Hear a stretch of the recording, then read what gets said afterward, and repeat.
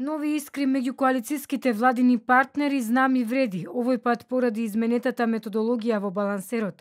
Министерот за јавна администрација Горан Минчев соопшти дека при секое народно вработување во јавната администрација процентот ќе се вади според резултатите од последниот попис на население, при што во игра влегува само резидентното население во државава, а е исклучено нерезидентното. Ова придонесе и до промена на процентите кои досека функционираа при вработувањата во јавниот сектор. Во ново вграденото решение во балансерот, согласно резидентно население на територијата на Република Северна Македонија, каде што разликата во процентите согласно последниот спроведен попис на територијата на Република Северна Македонија се значи усогласување, македонци од 54,21% на 58,44%.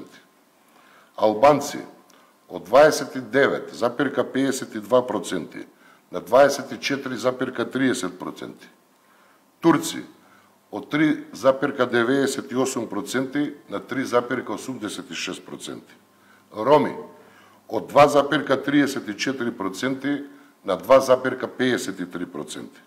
Срби од 1,18% на 1,30%. Власи од 0,44% на 0,47% и бошњаци од 0,87% на 0,87%.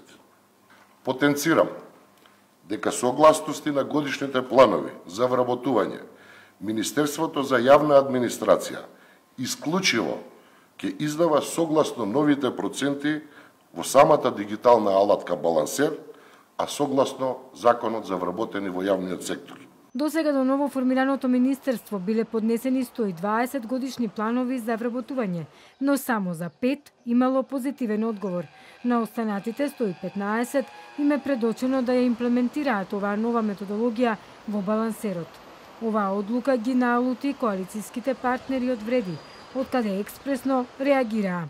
Очекуваме дека министерот Минчев ќе ги поништи сите огласи според балансерот во кои македонци се определуваа како албанци за да се вработат во јавната администрација. Токму тоа е злоупотребата на балансерот кој неговото министерство не смее да ги премолчува. Истовремено порационално е Димитриевски и Минчев да направат список на државни институции во кои се уште нема пристап за албанците. Намалувањето на процентите на албанците е предизборен фолклор и аргумент плюс зошто е необходно да се укине балансерот и да се донесе закон за правична застапеност власт.